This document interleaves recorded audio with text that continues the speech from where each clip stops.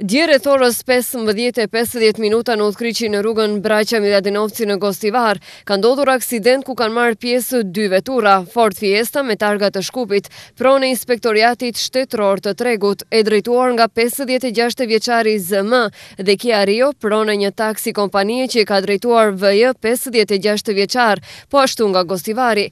Menjëherë pas aksidentit, vozitësi i Fordit me veturë të ndihmës së shpejtë është dërguar në Spitalin Klinik të Gostivarit.